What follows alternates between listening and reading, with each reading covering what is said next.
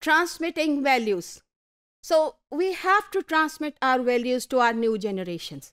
The whole world is concerned about this phenomena. They want to uh, train their children, their small kids, to transmit those values they are they want to inculcate.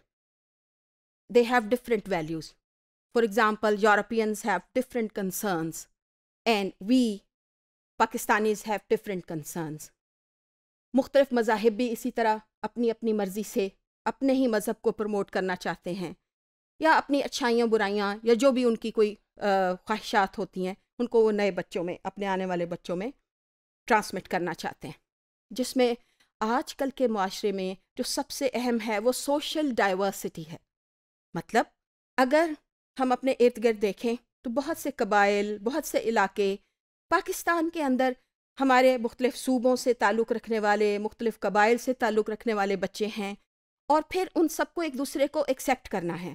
क्योंकि आप समझते हैं कि terrorism जो फैला हुआ है दुनिया के अंदर, जिसकी वजह से बहुत से लोगों को नुकसान पहुँचता है और फिर जो एक एग्रेशन है लोगों के अंदर आया हुआ, उसकी वजह यही है कि उन्होंने सोशल डाइवर्सिटी को एक्सेप्ट नहीं किया।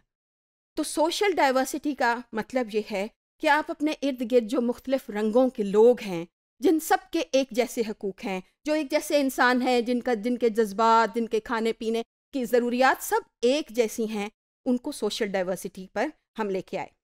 फिर ये कि फेसिंग रियलिटी।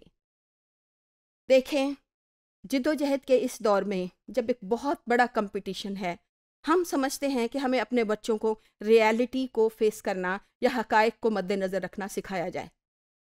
जहाँ मेहनत और अखलाक और किरदार साजी अहम है।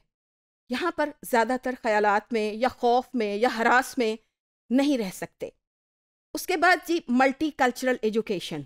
जब हम ट्रांसमिटिंग वैल्यूज़ की बात करते हैं तो जैसे मैंने अर्ज़ किया, हमारे सारे ग्रुप्स, चाहे वो मजाहब से ताल्लुक़ रखते हों रंगो नस्ल से ताल्लुक़ रखते हों, उनको बराबर का हक है कि वो अपने अपने अकीदे के मुताबिक अपने बिलीफ या एटीट्यूड के मुताबिक वो तालीम हासिल करें। सो so, इस तरह बहुत से जो कल्चर्स होंगे ख्वा पाकिस्तान में तो वैसे हमारे खूबसूरत कल्चर हैं लेकिन पूरी दुनिया में जो लोग मुख्तलिफ़ मुल्कों के एक जगह पर आ बसते हैं तो उनके भी कल्चर जो हैं वो अलग अलग हैं। अब ऐसी सूरत में हम चाहते हैं कि हमारे बच्चे दूसरे कल्चर्स को दूसरी तहजीबों को भी एक्सेप्ट करें और फिर उसके बेसिस पे अपने दिलों से जो कुदूरते हैं वो ख़त्म करें। फिर बायलिंगुअल एजुकेशन हम जो पाकिस्तानी हैं, हम एक वक्त में उर्दू भी सीख रहे होते हैं, इंग्लिश भी सीख रहे होते हैं और अरेबिक भी सीख रहे होते हैं।